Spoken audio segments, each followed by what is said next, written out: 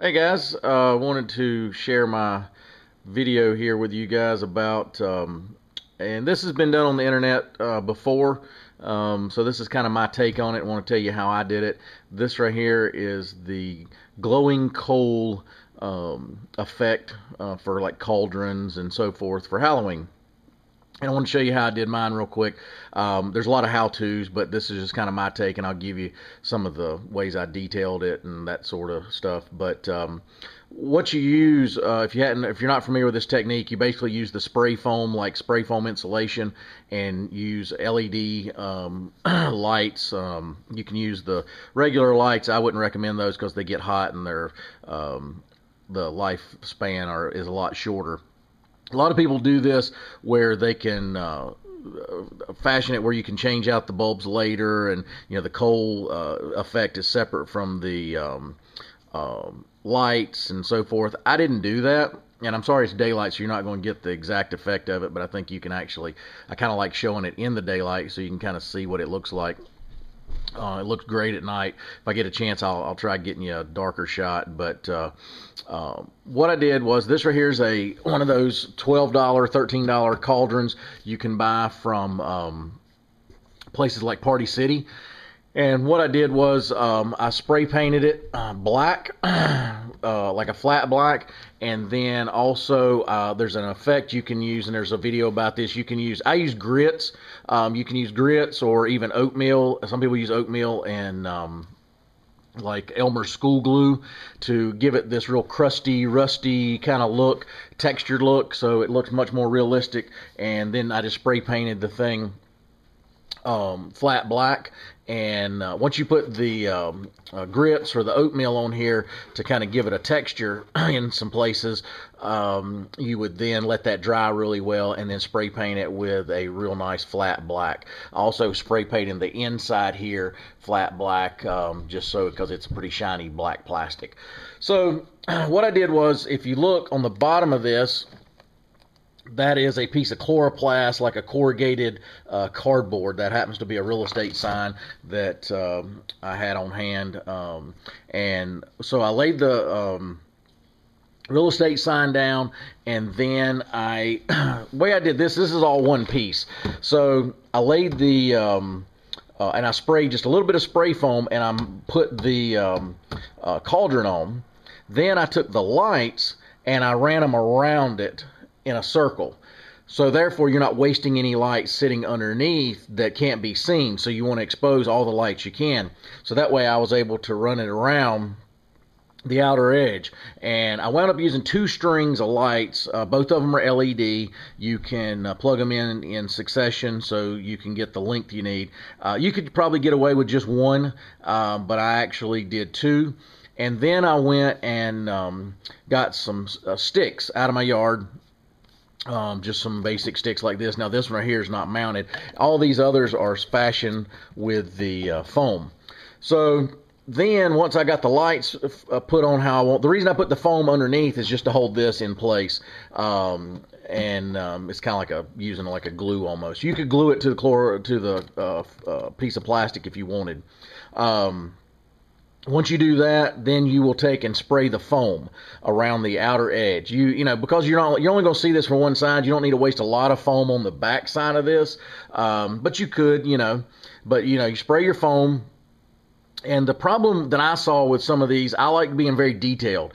And the foam, by the nature of the way it sets up, it's very rounded. Well, unless you're dealing with like lava, you don't see rounded um, coals or whatever. It's usually very uh, jagged or spiky or whatever because it's burnt pieces of wood. It's not like lava where it's round.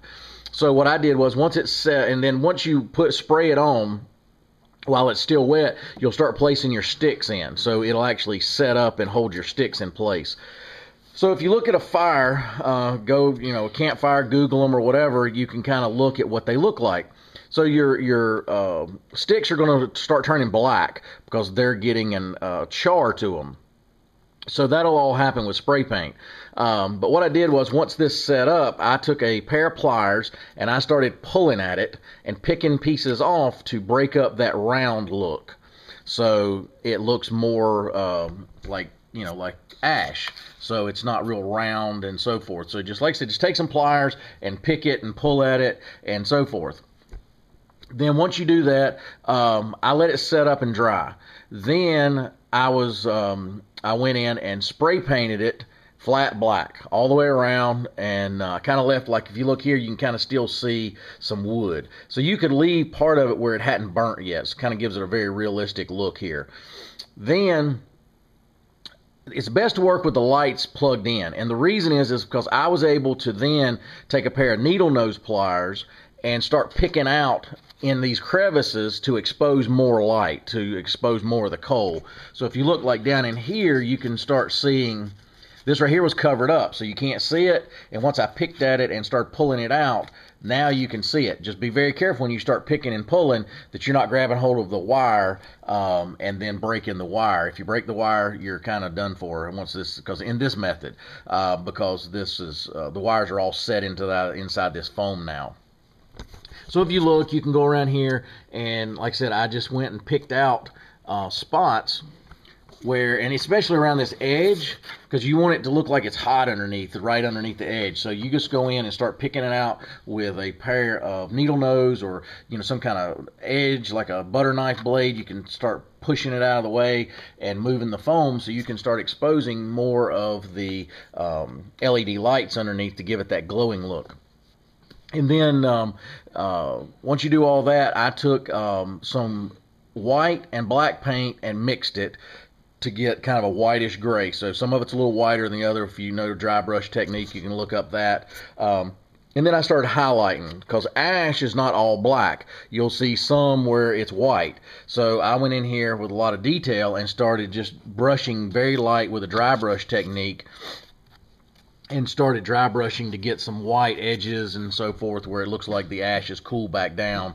uh, and turned white. And you know this stick here I just lay it up here like that so it looks like it's a new stick laid on the top of the coals. You could actually I'd actually uh, could glue that uh, hot glue it or something on there if I wanted to and I may do that. I just happened to stick it up there later. But at night this thing looks really cool. You can do um, you know if you wanted to do something a little more gory you could do this uh, in a little one of those little cheap barbecue grills with um, like some hands and some body parts on top, or you could even do a big bed of coals and have like a spit, like with a, a skeleton that looks burnt like a corpse or something. So it's a really neat effect to be able to uh, do this and look like some glowing uh, embers and so forth. It just looks really nice. Uh, but I had a real fun project. This right here, very cheap. Um, this right here is like 15 14.99 the foam is like five dollars a can then whatever your you know dollar or two dollars for your spray paint. Uh, you know you have two or three dollars in spray paint if you do the white and the gray. Some of this you may have actually have on hand. Um, the sign go to any real estate place. They'll have an old faded sign they'll give you. Uh, or if you want to go i'm sure uh, Hobby Lobby or somebody like that actually would sell the um, sheets of uh, corrugated plastic. The reason I like corrugated plastic instead of like a cardboard or something, I wanted this to be weatherproof. So if you had like cardboard underneath here, which would serve the purpose if you're going to do inside uh, a haunted house or something like that, or like here in my house, it's on my fireplace, it would be fine. But I wanted an option where if it gets damp underneath, the cardboard would obviously uh, start having problems. But with this, it's a solid plastic. It's no big deal. Uh, so it's very versatile in the way you do it because these most Christmas lights by nature are indoor outdoor. You could easily put this outside, so that's another reason I did it uh, to give me a little versatility with that, uh, being able to uh, put it outside without worrying about any moisture issues. There's other tricks you can do. I'm going to put in a um, uh, some type of fogger system. Uh, the ones I recommend uh, for that, probably instead of dedicating an actual ex- very expensive fogger system, they make these. Um, they're called uh, I don't the misters or mystifiers or something like that. They're used in the aquarium industry. Uh, you'll also see them around.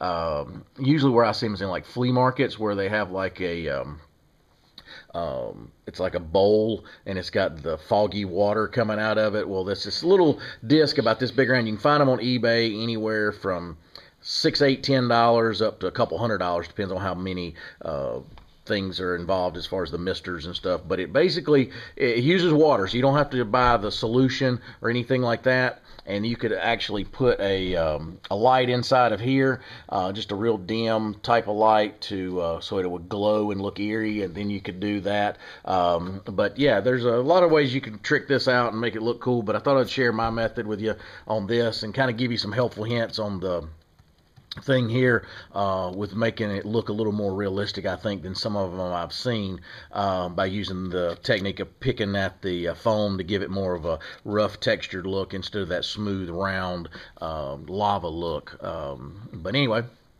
Guys, I hope you enjoyed the video. Hope you have a great Halloween. want to share this with you and uh, go out and make some projects. They make uh, good uh, family projects. If you got any kids, they really like it. My son really likes doing these projects, and we always do a few a year. But anyway, wanted to share this with you. If you have any questions, post those below. And as always, have a great Halloween and talk to you next year.